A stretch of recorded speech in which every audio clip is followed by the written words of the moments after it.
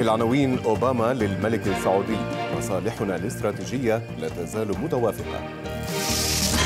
الجديد في أقبية المطار والمشنوق ينفي ما كتب. بين أنه كل هذا الكلام غير صحيح. التباني ترحب بالخطة الأمنية بوثيقة موقعة من قادة المحاور. ليلهم للجيش اطلعوا استحلوا الجبل وحلوا الحزب العربي. ابن التباني ما عاد يقوص على الجبل. شريط صوتي يفضح محاولة اعتداء تركية على سوريا.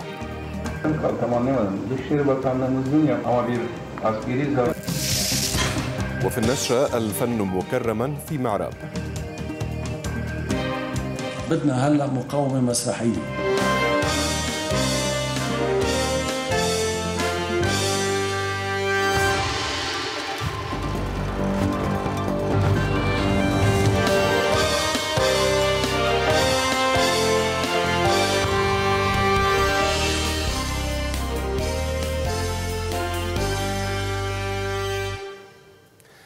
مساء الخير. المنطقة على إيقاع باراك أوباما. طرابلس تسير على قدم ومحور وخطتها الأمنية تنتظر مبايعة زعماء القتال الذين اجتمعوا الليلة.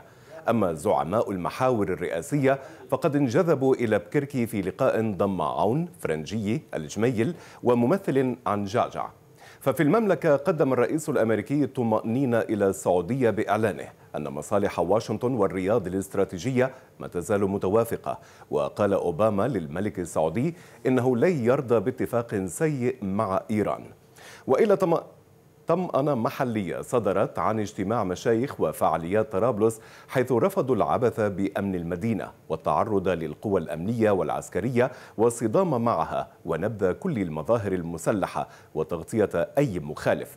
هذه الوثيقة وافقت عليها كتيبة أحرار التباني وتعهدت التزام بنودها ولكن لا يعرف بعد ما إذا كان أي زعيم محور لديه رأي آخر لا سيما بعد ضرب الخطة الأمنية قبل تنفيذها عبر اغتيالات طاولت عناصر من الجيش وقوى الأمن. بطرس شهيدا برصاص رماه في نهر أبو علي بعدما طارده مسلحان على دراجة نارية أي بالطريقة نفسها التي جرى فيها اغتيال المؤهل في الجيش فادي الجبيلي يوم أمس. في المقابل فقد وضع الجيش يده على مخزن ومخرطة سلاح في بلدة عيدمون العكارية وصادر كميات كبيرة من السلاح والمواد المصنعة للتفجيرات وأوقف صاحب المخزن. ومن المخرطة إلى الأقبية حيث جندت وزارة الداخلية والأشغال وسائر القوى الأمنية للتدقيق في معلومات الصحفي السعودي حسين شبكشي عن امرأة سعودية أوقفت ثلاثة أيام في غوانتامنو لبنانية تحت أرض مطار بيروت واليوم جال وزير الأشغال العامة غازي زعيتر رصدا للآهات التي سمعها شبكشي من المرأة المجهولة. فعاد بنفي للخبر الذي وضعه ضمن عملية استهداف لمطار رفيق الحريري الدولي. الجديد أيضا جالت وتوسعت في عملية الاستطلاع وارتكزت إلى رأي وزير الداخلية نهاد المشنوق الذي تواصل مع الصحفي السعودي وطلب منه تزويده بعنوان المرأة صاحبة الدعوة.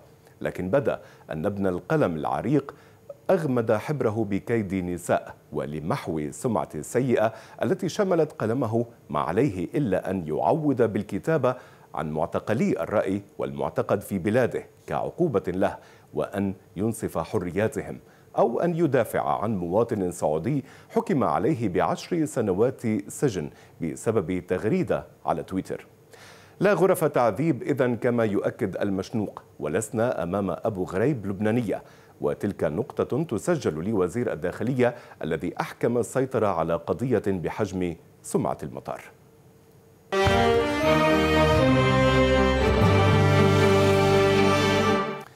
إذا الرئيس الأمريكي يبحث مع العاهل السعودي ملفات المنطقة. تسجيل صوتي يفضح القيادة التركية. وأخبار أخرى في بانوراما دولية.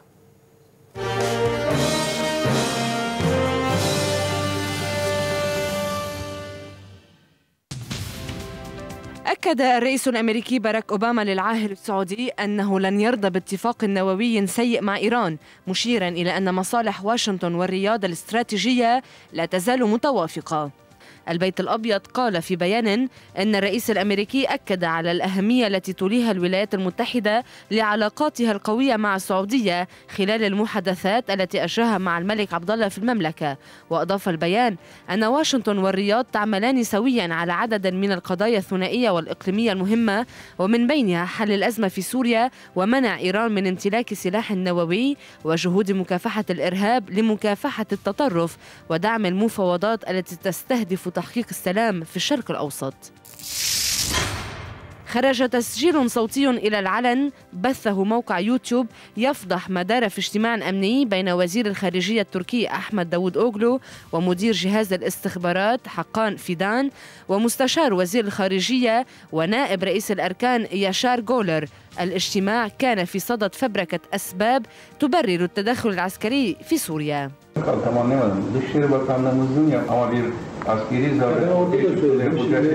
وفي التسجيل يقترح وزير الخارجية التركي نقلا عن رئيس الوزراء القيام بعملية تستهدف ضريح سليمان شاه جد مؤسس الإمبراطورية العثمانية الموجود في منطقة الرقة حيث تسيطر داعش ما يخلق مبررا لضربة على سوريا. فيما يتوجه داود أوغلو بالحديث إلى جولر طالبا تسهيل مهمة رئيس الاستخبارات بإيصال السلاح إلى سوريا. وتأمين الذخيرة لقطر مقابل أن تدفع سلفا. داود أوغلو رد على التسجيل معتبرا إياه إعلان بمثابة إعلان حرب. أردوغان من جهته لم ينفي التسجيل بل اعتبر نقله عملا خسيسا. قائلا خلال حفل انتخابي إنه كان اجتماعا حول الأمن القومي وما حصل عمل دنيء وجبان دخلت معركة بلدة كسب في ريف اللاذقية أسبوعها الثاني ولا تزال المعارك متواصلة بين الجيش السوري والمجموعات المسلحة.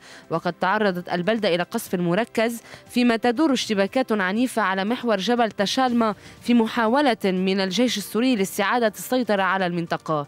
وفي وقت أعلنت فيه المجموعات المسلحة سيطرتها على منطقة البدروسية أكدت مصادر عسكرية رسمية أن وحدات من الجيش السوري استهدفت تجمعات للمجموعات المعارضة في محيط كسب وقرية السمرة. كاميرا الجديد تبحث في الأقبية والدهاليز في حرم مطار بيروت الدولي وتفتح الأبواب المغلقة. ووزير الداخلية نهاد المشنوق ينتظر اعتذارا من صحيفة الشرق الأوسط غدا.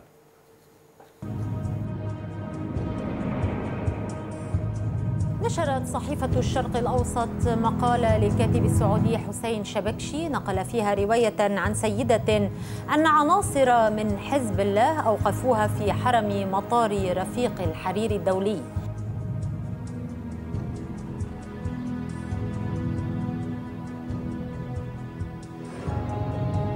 نحن الآن ندخل إلى الأغبية المظلمة والقاعات السوداء حيث دخلت السيدة أو حيث تم التحقيق مع السيدة التي تم تعذيبها لمدة ثلاثة أيام. هناخد نفس الخط اللي ممكن أي مسافر من لبنان إلى أي دولة تانية ياخده. وبشكل خاص هنفوت على الجيت الخاص بالمغادرين إلى السعودية.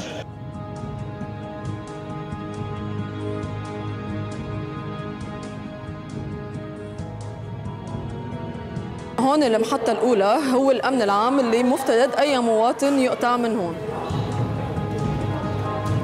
عم نسلك نفس الخط اللي سلكته السيد اللي اختفت لمدة 72 ساعة.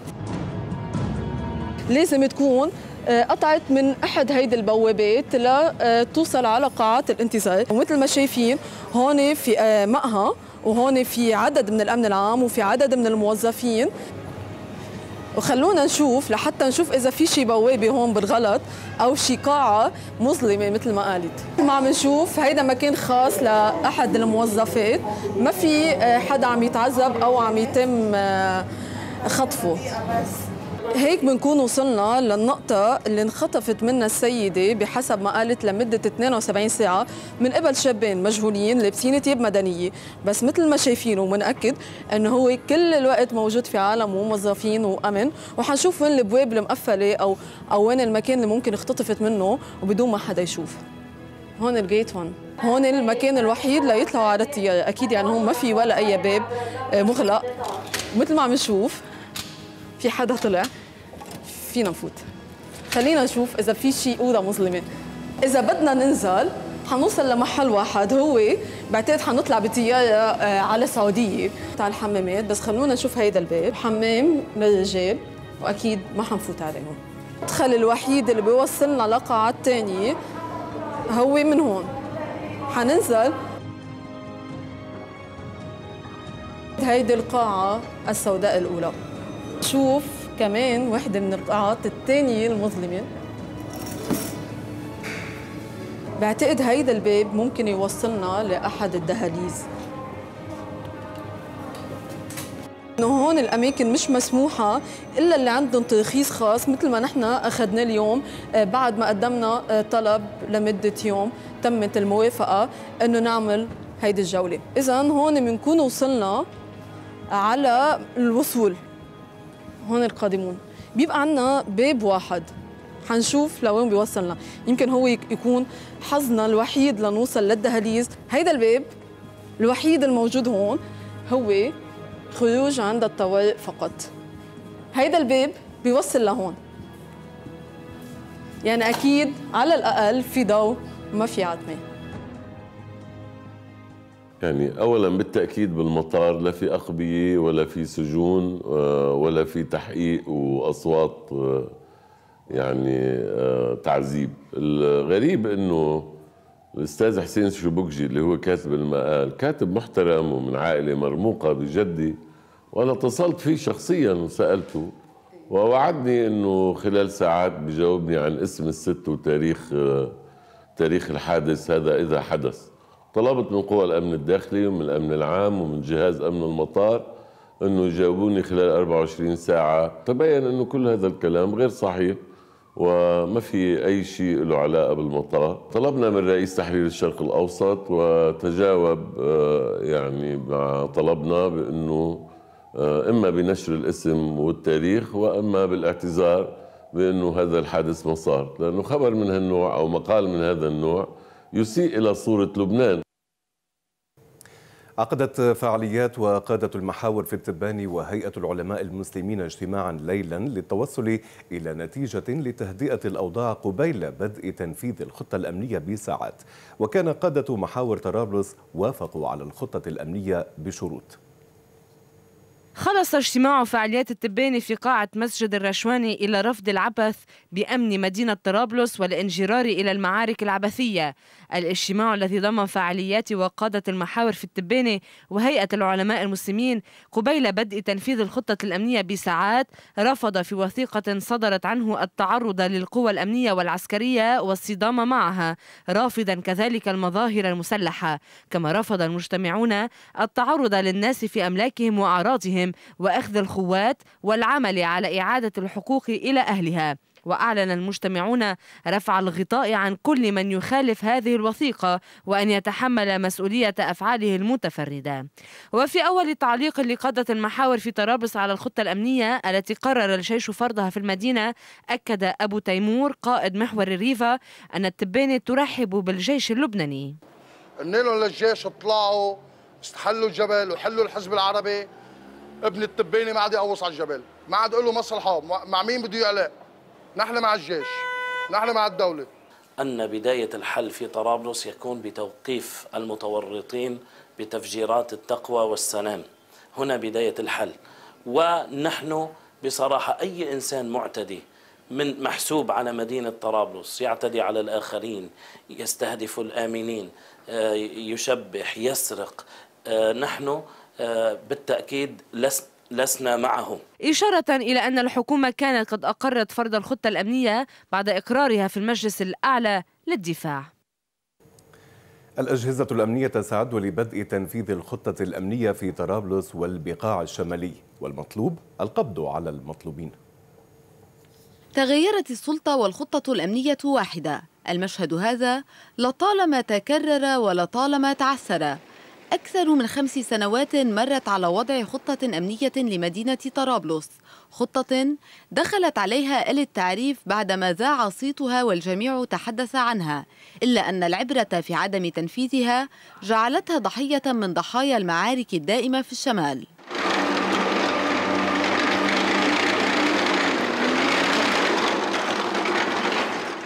اليوم أخرجت الخطة من أدراج مجلس الوزراء. أدخلت عليها منطقة جديدة فربط أمن طرابلس بأمن البقاع الشمالي.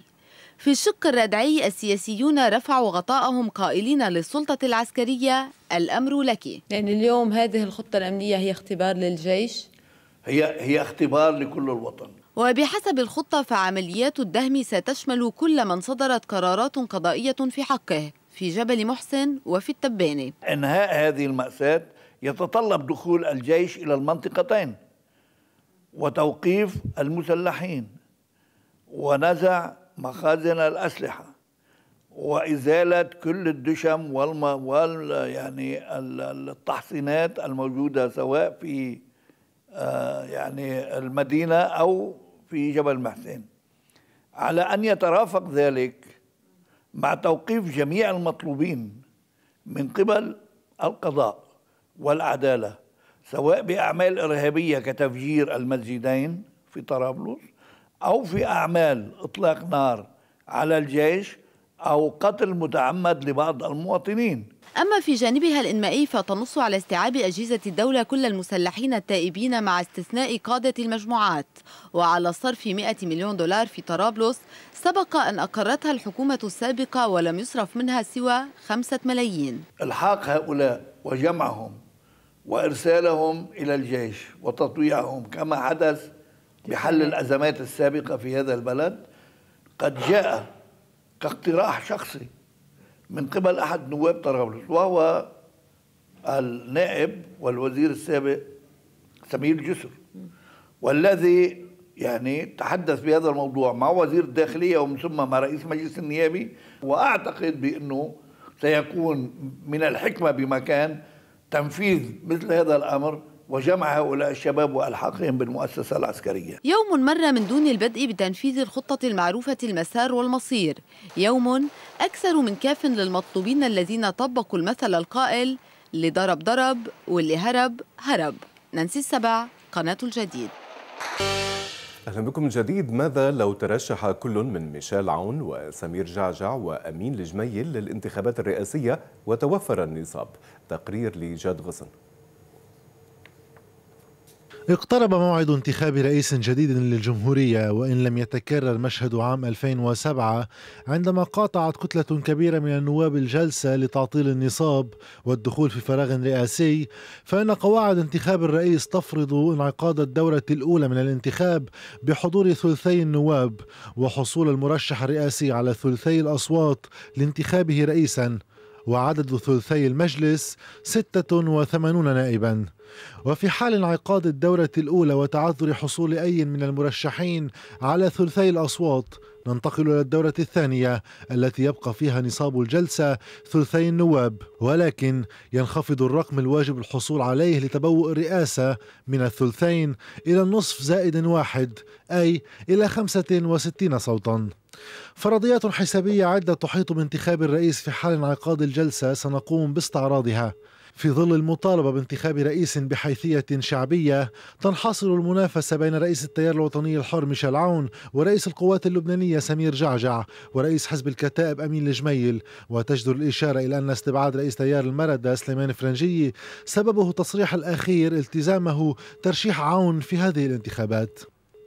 بالنسبة إلى حظوظ عون تنطلق الفرضية الأولى من نجاحه في استمالة تيار المستقبل إلى التصويت له. وعندئذ تضاف أصوات كتلة المستقبل الستة والثلاثون إلى أصوات الثامن من آذار الستة والخمسين ليصبح المجموع 92 صوتا. وينتخب ميشيل عون رئيسا من الدورة الأولى من دون الحاجة إلى أصوات أي من الكتل الأخرى. أما في حال أخفق عون في استمالة المستقبل وتوفير نصاب الدورة الأولى من الانتخابات فلن يحوز أي من المرشحين على ثلثي الأصوات. وبذلك ننتقل إلى الدورة الثانية وعندئذ يكون أمام ترشح عون فرضيتان انتخابيتان. الأولى تنطلق من اتجاه جبهة النضال الوطني إلى الاقتراع لمصلحة عون فتضاف أصواتها الستة إلى رصيده الذي سيبلغ عندئذ 62 صوتا. ويبقى بحاجة إلى ثلاثة أصوات لينتخب رئيسا وهنا قد تكون القضية قابلة للحلحلة مع قدرة النائب وليد جنبلاط على استمالة بعض أفراد كتلته السابقة اللقاء الديمقراطي إضافة إلى قابلية عدد من النواب المستقلين كالنائبين محمد الصفدي وميشيل المر لانتخابه. أما الفرضية الثانية فتنطلق من عدم اقتراع جبهة النضال لمصلحة عون وعند ذاك تتبخر حظوظه في الوصول إلى الرئاسة. غير أن حظوظ عون غير المرتفعة جدا تبقى أكثر ارتفاعا من حظوظ رئيس القوات سمير جعجع الذي أشارت مصادر القوى الثامن من آذار وجبهة النضال الوطني إلى استحالة تصويتهم له. وعندئذ يتوقف عدد الأصوات التي يمكنه الحصول عليها على أقل من 55 صوتا مع سحب نواب الكتائب الخمسة من حصة الرابع عشر من آذار الذين طبعا سيصوتون لمرشحهم أمين الجميل وبذلك لن يتمكن من الفوز بالانتخابات الرئاسية لا من الدولة الأولى ولا من الثانية. أما الجميل فإذا استحصل على ترشيح قوى الرابع عشر من آذار باستثناء كتلة القوات التي لها مرشحها فسينطلق بنحو خمسين صوتا ولن تكفيه أصوات جبهة النضال الوطني ولو أضيف إليها بعض المستقلين فحسب بل سيحتاج إلى اختراق صفوف قوى الثامن من آذار لاستمالة أحد أطرافها. فإذا صوتت كتلة التنمية والتحرير إلى جانب جبهة النضال لمصلحته يصبح رصيده 69 صوتا فيصبح بذلك هناك بصيص أمل ولو صغيرا جدا لينتخب رئيسا للجمهورية من الدورة الثانية من الاقتراع. كلها فرضيات نظرية وحسب. فالشواهد التاريخية تدل على استحالة ترك الأطراف الإقليمية والدولية الاستحقاق الرئاسي للعبة الأصوات النيابية المجردة باستثناء انتخابات عام 70 بين الرئيسين سليمان فرنجي والياس سركيس التي تبقى استثناء فقط لإثبات القاعدة.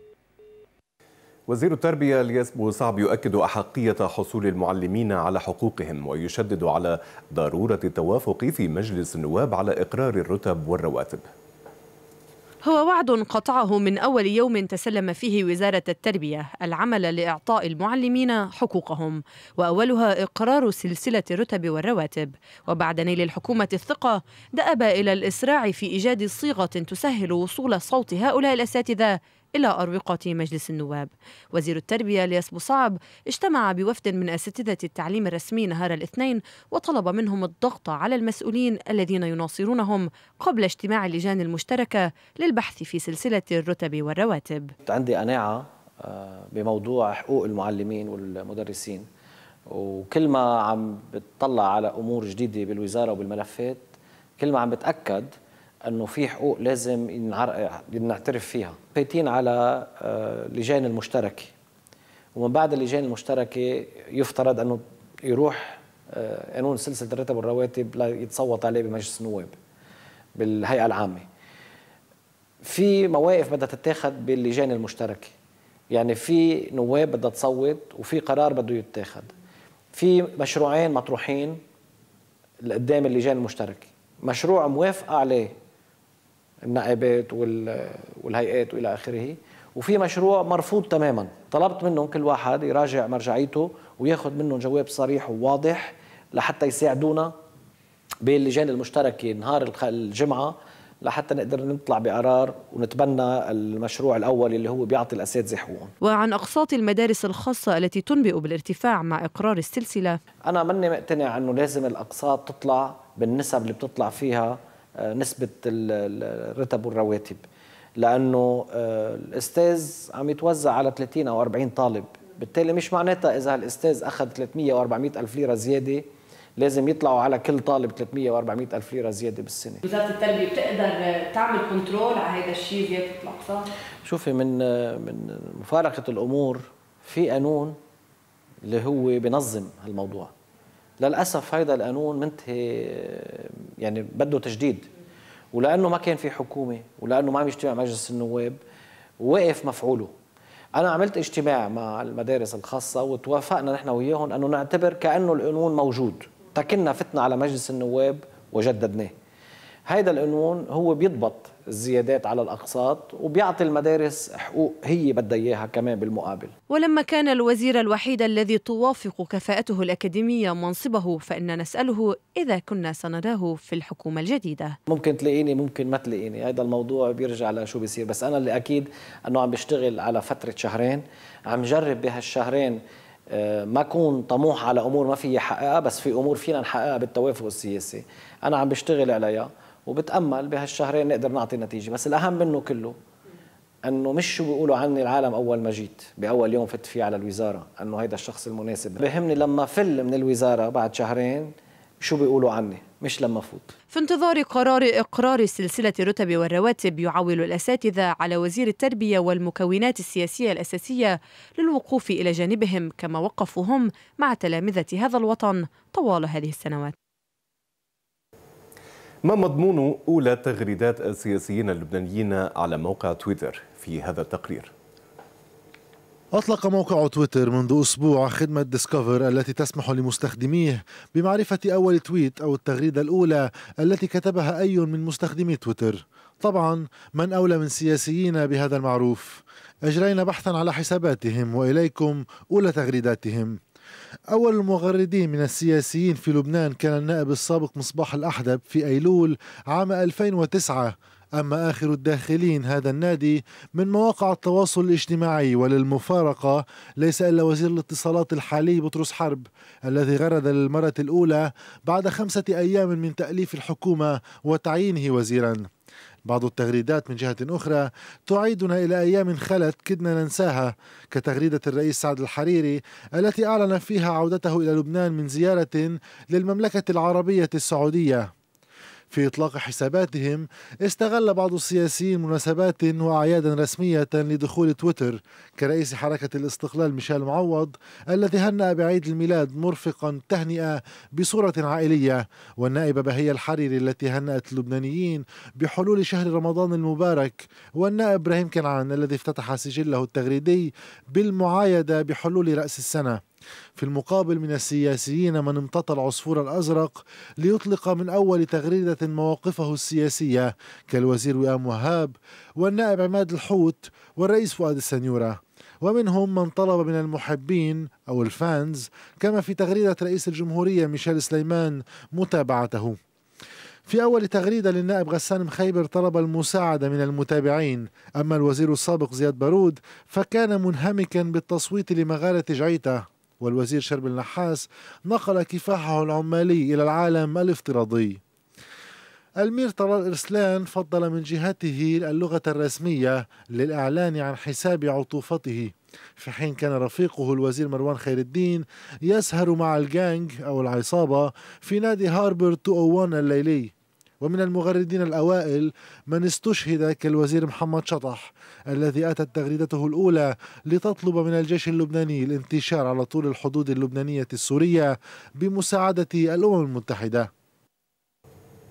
وزير الأشغال ينفي وجود غرف تعذيب في مطار بيروت مقتل مؤهل في قوى الأمن الداخلي في طرابلس. اعتصام أمام ليسي عبد القادر وأخبار أخرى في بانوراما محلية للزميل رشال كرم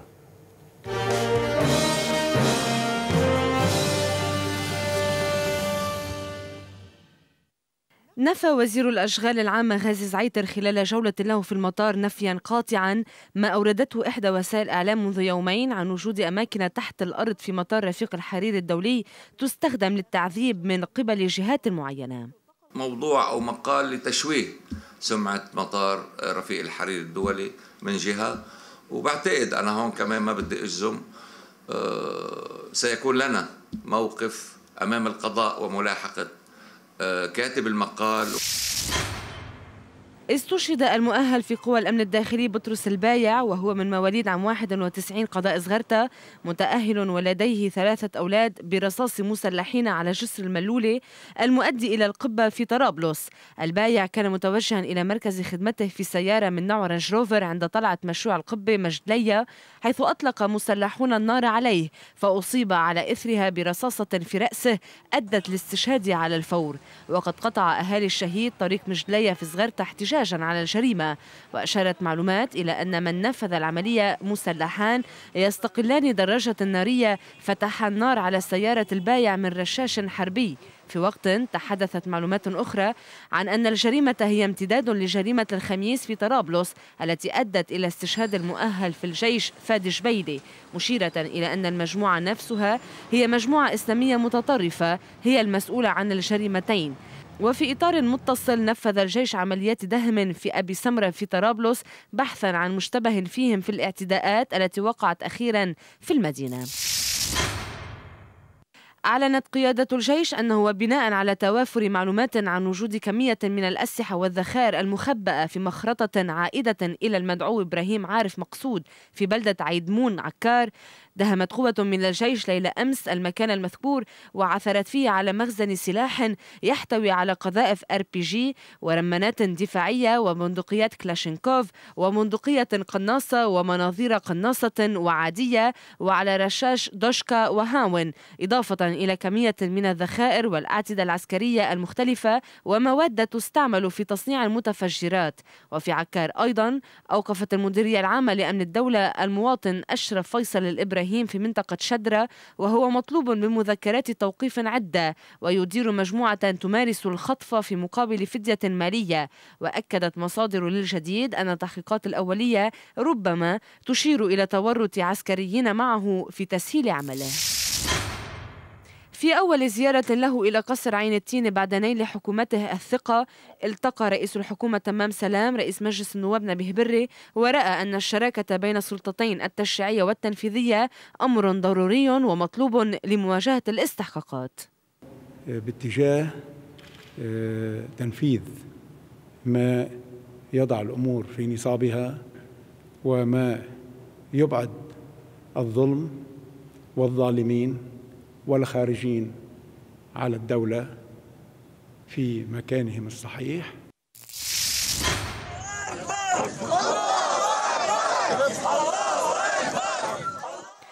نفذ أهالي المفقودين في معارك قلعة الحصن في سوريا اعتصاما أمام نقطة الجمارك على معبر العريضة الحدودي مع سوريا. وتحدث باسمهم الشيخ محمد إبراهيم مطالبا بمعرفة مصير هؤلاء المفقودين لاسترجاع جثامين القتلى وفك أسر المعتقلين. اعتصم أهالي مدرسة الليسي عبد القادر مع أولادهم بعد تردد معلومات عن انتقال المدرسة من زقاق البلاط إلى المشرف أو منطقة أخرى من ضواحي بيروت بعدما قررت هند رفيق الحريري بيع العقار الذي أنقذه والدها عام 85 وتولت يومها مؤسسة الحريري مسؤولية إدارتها بالتعاون مع وزارة الخارجية الفرنسية والبعثة العلمانية الفرنسية. وقد أوضحت المؤسسة للأهالي بأن مشروع نقل موقع المدرسة خلال مهلة أقصاها خمس سنوات هو قيد الدرس وذلك بهدف مواكبة احتياجات التطور والتقدم. عقدت لجنة العمال المياومين وجبات الإقراء في مؤسسة كهرباء لبنان مؤتمرا صحفيا في المؤسسة. تحدثت فيه عن اقتراح القانون المعجل المكرر الرامي إلى ملء المراكز الشاغرة في المؤسسة عن طريق مباراة محصورة بالعمال غب الطلب وجبات الإقراء. واصفة إياه بأنه مجزرة تنسف الاتفاق الذي تم على أساسه. الآن إلى النشرة الفنية التي أعدها لليلة الزميل شادي خليفي.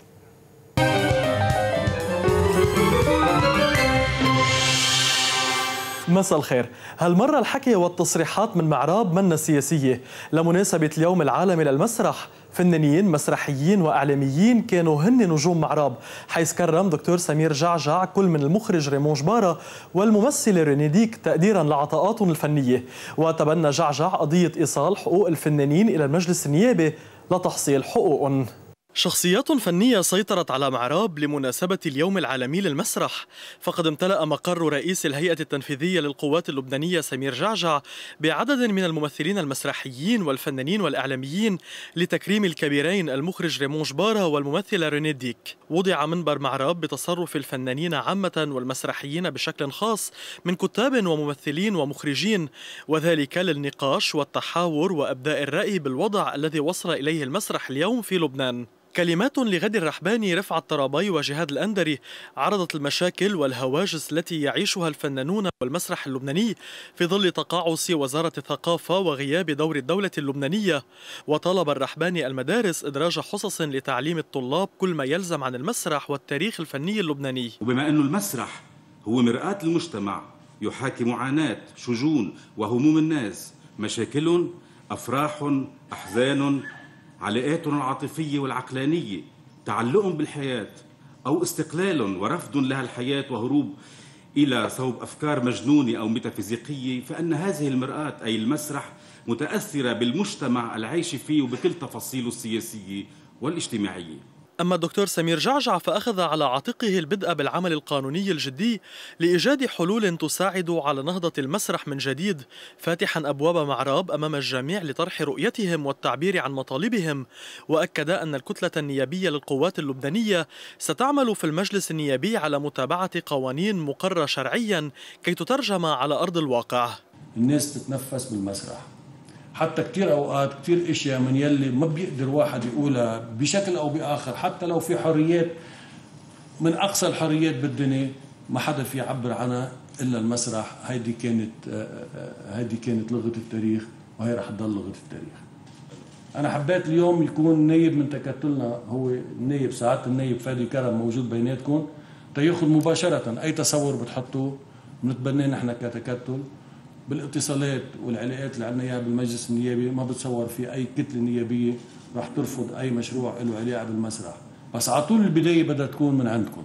أكثر مجال بلبنان نحن بحاجة فيه لمقاومة بالفعل يعني هو المسرح. بدنا هلأ مقاومة مسرحية.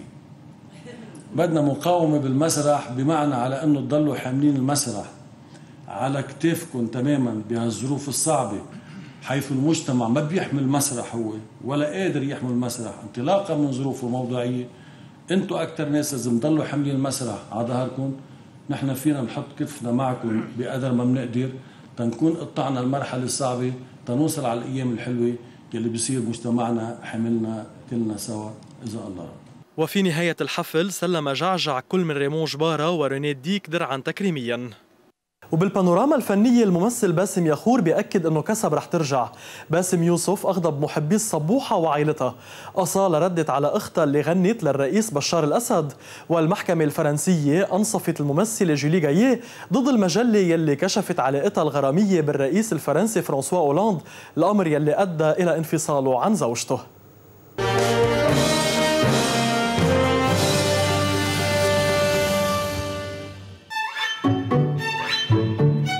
أثارت صورة لمنطقة كسب نشرها الممثل السوري باسم يخور على موقع فيسبوك موجة من التعليقات بين مؤيد ومعارض. وعلق باسم على الصورة قائلا حتى لو اجتمعت شياطين الأرض سترجعين يا كسب. ويأتي نشر هذه الصورة بعد احتدام المعارك الدائرة على معبر كسب الحدودي مع تركيا منذ ستة أيام بين النظام ومقاتلي جبهة النصرة. وبعد نشر الصورة البعض شتم باسم يخور مطالبين إياه بعدم التعاطي سياسيا فيما البعض الآخر أيد Predador.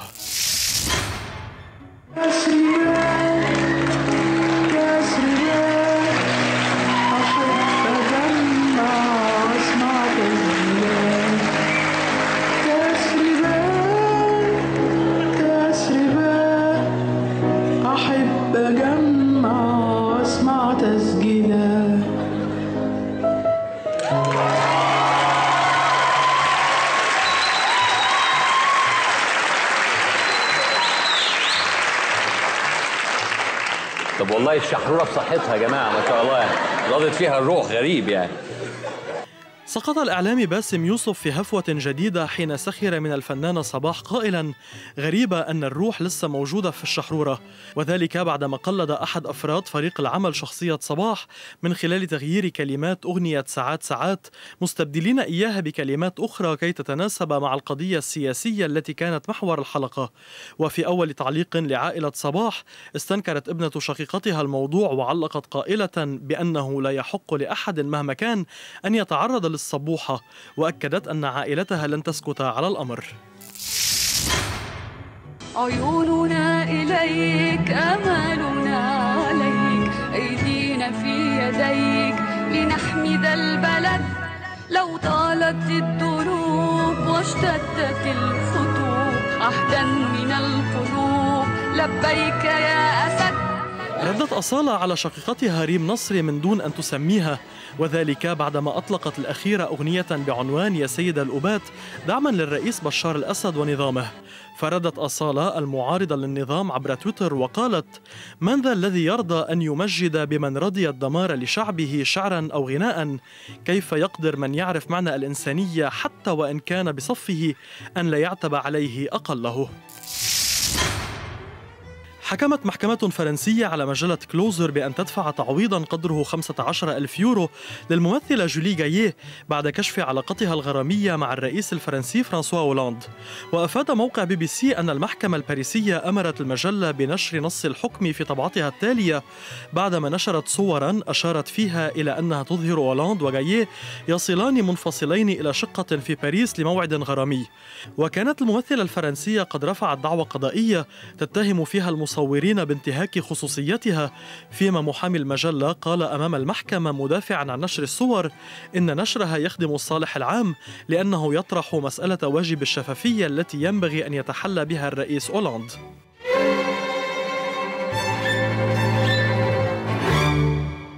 لهون بنوصل لختام نشرتنا الفنية لليلة. أنا برجع بلتقي فيكم بنشرة فنية جديدة مع مواضيع جديدة. مساء الأحد. من هلأ لوقتها ضلوا بألف خير. كان في النشرة أوباما للملك السعودي مصالحنا الاستراتيجية لا تزال متوافقة. الجديد في أقبية المطار والمشنوق ينفي ما كتب. بين أنه كل هذا الكلام غير صحيح. التباني ترحب بالخطة الأمنية بوثيقة موقعة من قادة المحاور. لهم للجيش اطلعوا استحلوا الجبل وحلوا الحزب العربي. ابن التباني ما عاد يقوص على الجبل. شريط صوتي يفضح محاولة اعتداء تركية على سوريا.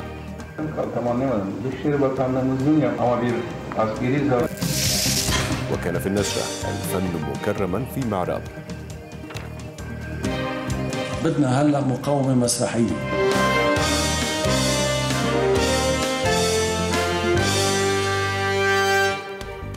شكرا للمتابعة دمتم بألف خير وإلى اللقاء.